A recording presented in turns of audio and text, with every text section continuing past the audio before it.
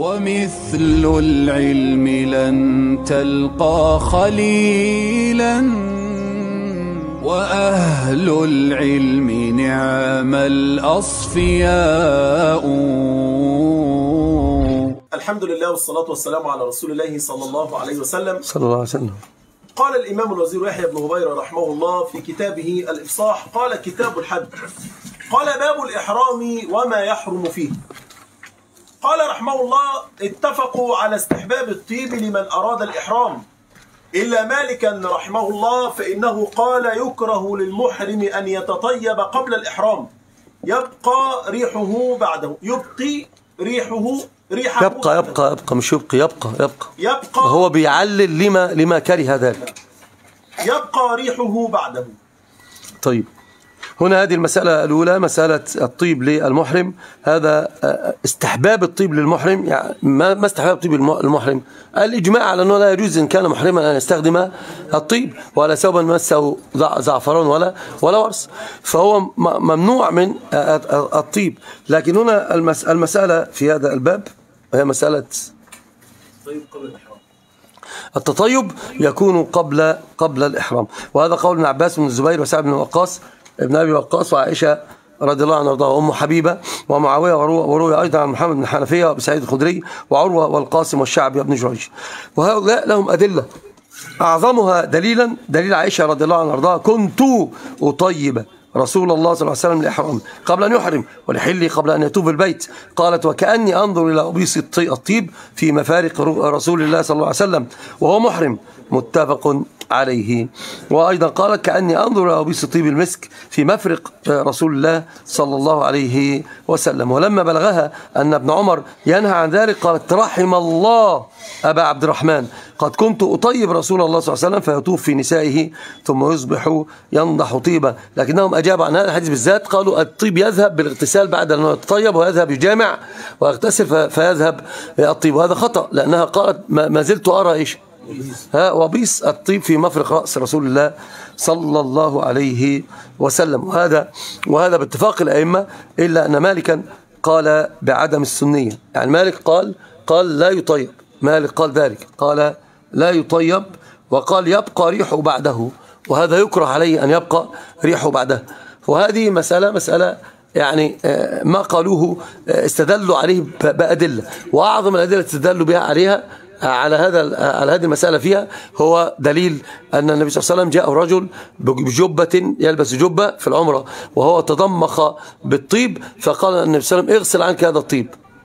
وانزع هذه الجبة. اغسل عنك هذا الطيب وانزع عنك هذه هذه الجبة. نعم. وحقيقة الأمر قول الجمهور هو الأرجح وهو أن الطيب مستحب لفعل النبي والنبي صلى الله عليه وسلم قال خذوا عني مناسككم فلفعل النبي أنه مستحب. هذا الأصل. والإقرار الصحابة وفعل الصحابة. ابن عباس بن أبي وقاص كلهم كانوا يفعلون ذلك. وأما ما جاء في بقاء الطيب قلنا يغتفر في التابع ما لا يغتفر في الأصل. وما استدل به القوم في إنزع الجبة لها تأويلات. من هذه التأويلات أنه كان متطيبا بالزعفران. والنهي عام على الزعفران. وهذا تأويل ما أراه قويا يعني. التأويل القوي في هذا الباب هو أنه أنه يعني لبس ذلك وتطيب قبل الإحرام وبقي على الطيب وبعد الإحرام. لذلك النبي صلى الله عليه وسلم قال قال له انزعها واغسل الطيب أو أو أنه تطيب بعد الإحرام. وهذا الزجر الصحيح أنه تطيب بعد بعد الإحرام. قالوا ينهى عن الطيب تبعا كما ينهى عنه أصالة. ينهى عن الطيب تبعا كما ينهى عنه ابتداء. يعني هم قالوا ينهى عنه تبعا كما كما ينهى عنه ابتداء في الإحرام يعني. لأنه بقاؤه في الإحرام كالابتداء يعني جعلوا التبع مبتدأ آه، ابتداء فهمتم الصورة؟ نعم. والأمر الثاني الرد على هذا الباب نقول لهم خلينا نقول نقول لهم يغتفر في التابع ما لا يغتفر في الأصل. وهم قالوا قياسا على الثياب. قلنا الثياب لم يرد إيش؟ لا لا لم يرد استحبابه قبل الإحرام. وورد استحباب الطيب قبل الإحرام فافترق فكان القياس قياس مع الفارق. قياس مع مع الفارق. كان كان- فكان القياس قياس مع مع الفارق. فيبقى أو تبقى الأدلة هنا ظاهرة وأن الطيب واستخدام الطيب للإحرام سنة مستحب. وإن بقيت رائحته وإن بقيت رائحته لأنه يغتفر في التابع ما لا يغتفر في الأصل. يستحب دون يستحب إيش؟ الطيب للمحرم قبل إحرامه في البدن. لا الإحرام لا يجوز. لا يجوز في حمل الأحوال. والجبة قال لا اغسلها نعم. قال انزع. وقال اغسلها. ما إحنا بنتكلم على الشيخ. طب هات الدليل. زكاة الجنين زكاة أم. علي صوتك. زكاة الجنين زكاة أم. كيف ذلك؟ ما تخلينا في اللي إحنا فيه الأول وبعد كده هات اللي بعده. جزاك الله خير. يصلي يصلي الله يهديك يا شيخ الله يهديك. يعني أصعب شيء إنك تذهب للوعورة وعندك الطريق الم- المفتوح سهلا. أنا بقى أريد الشاهد. فين وجه الشاهد؟ فين وجه الشاهد؟ قبل أن نأتي بوجه وجه الأدلة. فين وجه الشاهد يا نادر؟ طيب؟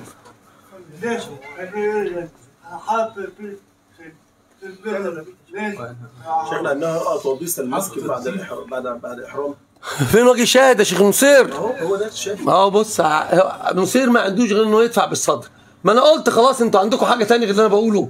بتاخدوا بيه تسكتوا اتفضل شيخ. وجه الشاهد في وضع النبي صلى الله عليه وسلم من الطيب. والشاهد إيه؟ وجه الشاهد آه. في وضع النبي صلى الله عليه وسلم من الطيب قبل الإحرام. لا إزاي بقى؟ لا. لا. أقسم على ذلك. أقسم على ذلك. معلش أول وجه الشاهد. اتفضل قول وجه قالت كأني أنظر إلى وبيس هذا هو. هذا هو. هذا هو الشاهد. هي رأته متى حبايبي. رأيته متى بعد. الله أكبر يا نادر. رأته بعد. يبقى ده الشاهد ولا مش ده الشاهد؟ يبقى هو باقي معه ولا ما باقي معه؟ هو أصلا العلة التي جعلت الحنف الملكية يقولون بالكراهة. إيش العلة؟ ها؟ بقاء الريح. مش هو بيقول ذلك؟ قل طب هو باقي باقي مع النبي صلى الله عليه وسلم. عائشة قالت ذلك. قالت إني أرى ها وبيص الطيب في مفرق رأس رسول الله صلى الله عليه وسلم. ده بعد إيه؟ بعد ما لبس الإحرام. يبقى باقي ولا ما باقي وهنا يقال يغتفر في التابع ما لا يغتفر. في الأصل بعد كده بقى تأتي بكل ما تأتي به في هذا الباب. يغتفر في التابع ما لا يغتفر في الأصل. وقلنا القياس على آه، الزي واللباس قياس مع مع الفارق. نعم. تفضل شيخ. قال الإمام رحمه الله واتفقوا على استحباب الاغتسال للأركان وغيرها كالإحرام. واتفقوا على واتفقوا على استحباب الاغتسال للأركان وغيرها كالإحرام بالحج والوقوف بعرفة ودخول مكة والطواف وصلاة ركع الركعتين عند عقد الإحرام. أما بالنسبة لهذا الاتفاق أو الاستحباب اتفقوا على ذلك وقلنا أن الحكمة عند الاجتماع أن يكون أن. أن تكون الهيئة حسنة وأن تكون الرائحة طيبة. لا ضرر ولا ضرار. لا ضرر ولا ولا ضرار. وقال إن الملائكة تتأذى مما يتأذى منه ابن آدم. فالحاصل في هذا الباب أنه يعني آه، كان النبي صلى الله عليه وسلم ورد عنه الاغتسال. أما الاغتسال للإهلال فهذا ورد عن النبي صلى الله عليه وسلم أنه اغتسل وتطيب. للإهلال. وأيضا أمر أصحابه فاغتسلوا وعائشة أيضا اغتسلت وأيضا أسماء بنت عميس. لما لما ولدت محمد بن أبي بكر وهي نفا نفاس كانت نفساء ومع ذلك أمرها النبي صلى الله عليه وسلم بالاغتسال. وابن حزم قال بالوجوب هنا في هذا الباب أمرها النبي صلى الله عليه وسلم بالاغتسال. فهذا كله دلالة على الاغتسال عند عند الإهلال أو الإحرام بالحج. الوقوف عرفة ورد عن ابن أبي طالب رضي الله عنه قال الغسل على أربع وذكر منها الوقوف عرفة أيضا في هذا الباب. وقلنا أن المعنى موجود. المعنى موجود. وش المعنى؟ المعنى اجتماع الناس. اجتماع الناس ويكون المرء في أحسن هيئة وحلة في عند اجتماع الناس ولأن الملائكة تأذى ما تأذى منه ابن آدم. وكذلك في دخول مكة تعظيما لمكة. لأن ابن عمر رضي الله- رضي الله عنه وارضاه كان يبيت بذي طوى ويغتسل قبل أن يدخل إلى إلى مكة. وهذا تعظيم لمكة. تعظيم لمكة. تعظيم مكة. مكة ليست أي البلاد. نعم. وأيضا للطواف. وأما الطواف استحب بعض أهل العلم بالاغتسال في الطواف وليس هناك ثمة دليل على ذلك إلا الاغتسال للدخول وأيضا مسألة الاجتماع.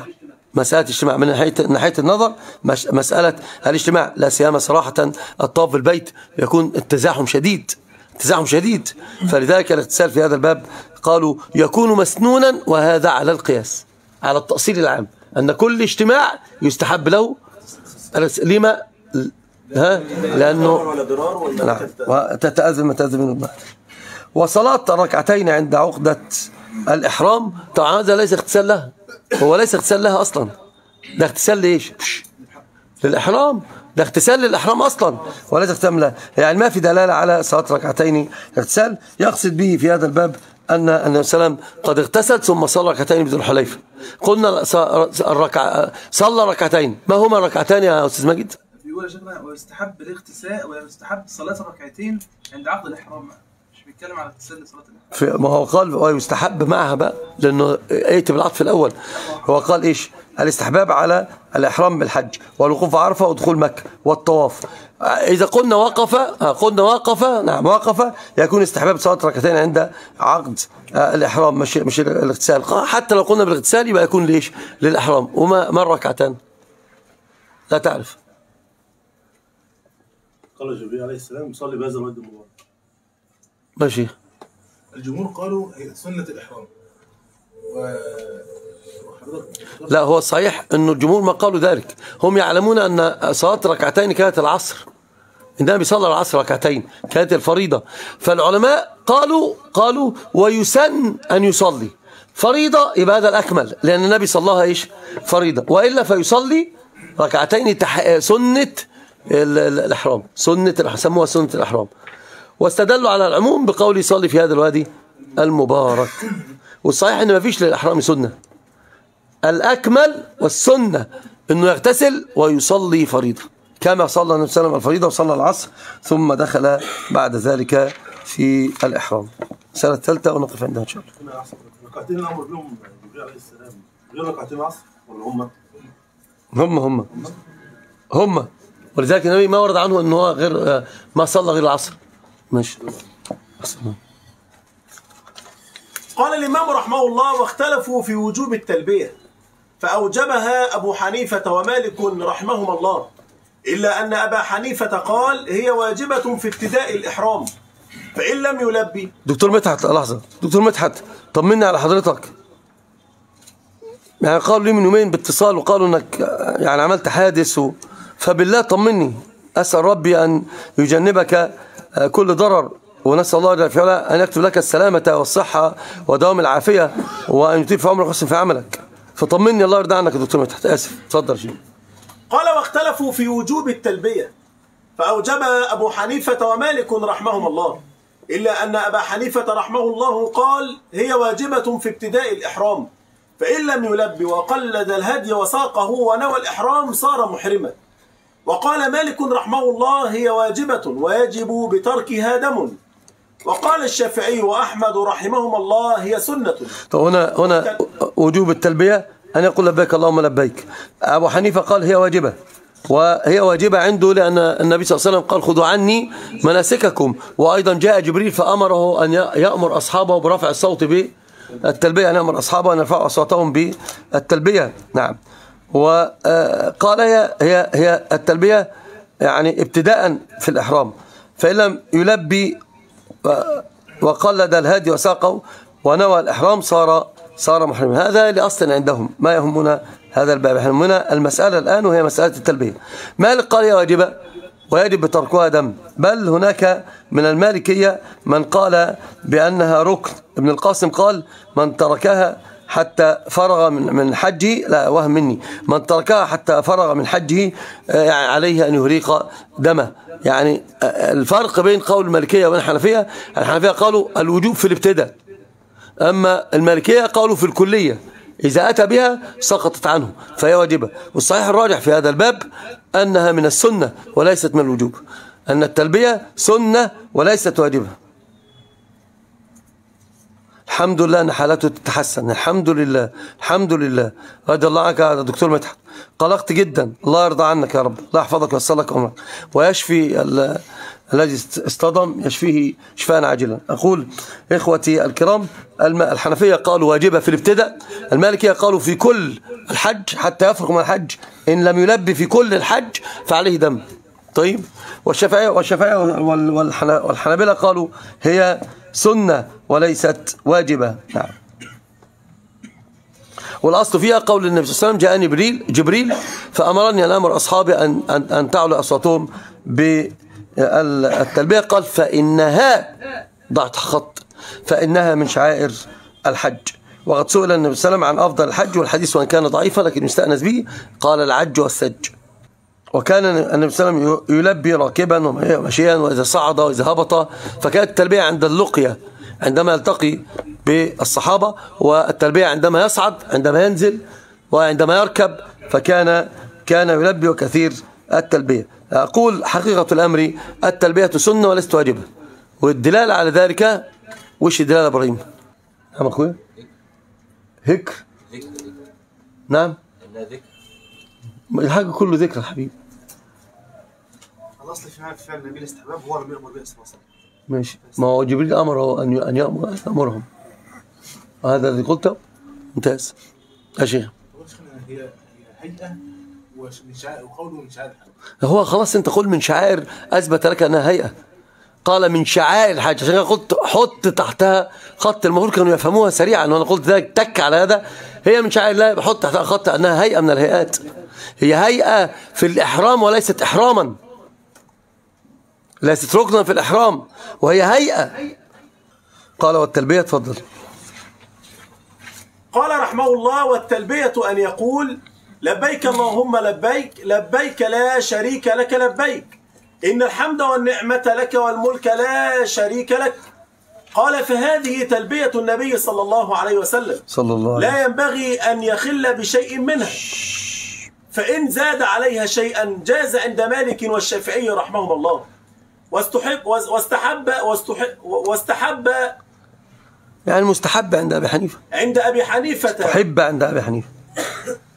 واستحب عن عند أبي حنيفة. وكره وكره عند أحمد رحمة الله عليه. فأحمد كره ذلك لأنه قال النبي صلى الله عليه وسلم قال خذوا عني مناسككم والأصل في ذلك ما قاله النبي صلى الله عليه وسلم يكون ذكرا له توقيت. فلذلك قال ما دام له توقيت إذا فهو توقيف. ما دام له توقيت إذا له توقيف. وحقيقة الأمر قول الجماهير آه، يقدم على قول أحمد هنا وأن الزيادة جائزة. جائزة وليست مستحبة. الفرق بين الحنفية وبين باقي الجمهور الشافعية قالوا جائز. وأبو حنيفة قال مستحب. والصحيح أنها جائزة وليست مستحبة. ليش؟ لأن النبي سمع الزيادات وأقرها والإقرار على الجواز وليس على الاستحباب. وفعل النبي هو الذي يكون على الكمال. لبيك اللهم لبيك لبيك لا شريك لك لبيك إن الحمد والنعمة لك والملك لا شريك لك. هذه تلبية النبي. كان ابن عمر يقول يقول لبيك حقا حقا. لبيك تعبدا ورقا. كان غيره يقول لبيك ذا الفواضل لبيك ذا النعائم. كل هذه تلبيات كانت كانت تقال وتزداد والنبي صلى الله عليه وسلم يسمع ذلك ولا ولا يع- يع- يعقب على ذلك. بل أقر أقر ما قيل. وأثر عمر الخطاب أنه إذا زاد في التلبية قال لبيك ذا النعماء والفضل لبيك مرهوبا ومرغوبا إليك لبيك. وابن مسعود كان يقول لبيك لبيك لبيك عدد التراب. فهذا كله فيه زيادة من آه، الصحابة الكرام وكانوا حول النبي. فكانت الزيادات يسمعها النبي صلى الله عليه وسلم ويقرها ولا ولا ينكرها. وإقرار النبي في ذلك على على أنه على إيش؟ على الجواز. على الجواز. أما قول أحمد أنه يكره, بذلك قالوا الزيادة على ما قاله النبي صلى الله عليه وسلم التوقيت توقيف. التوقيت توقيف. وهذا خطأ بين لأن النبي له سنة أخرى غير السنة القولية وهي السنة الإيش؟ التقريرية. فاقره النبي صلى الله عليه وسلم. تفضل شيخ. يا طالب العلم قم لا تنم فإن الزمان يا طالب العلم قم لا تنم فإن الزمان انقضى وانصرم. فكن ما حييت ضنينا به فظنك بالوقت عين الكرم.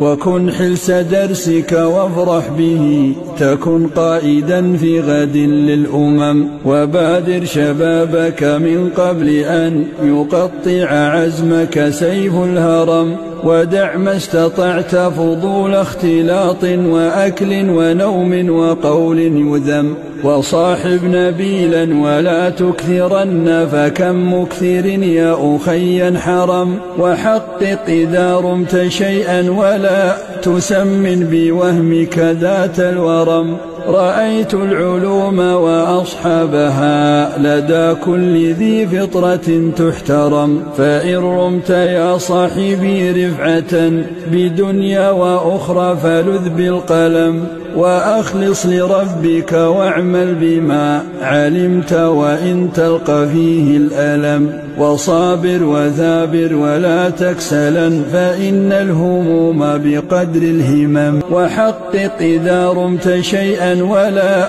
تسمن بوهمك ذات الورم رأيت العلوم وأصحابها لدى كل ذي فطرة تحترم فإن رمت يا صاحبي رفعة بدنيا وأخرى فلذ بالقلم وأخلص لربك واعمل بما علمت وإن تلقى فيه الألم. وصابر وثابر ولا تكسلا فإن الهموم بقدر الهمم. فإن الهموم بقدر الهمم إن الهموم بقدر الهمم إن الهموم بقدر الهمم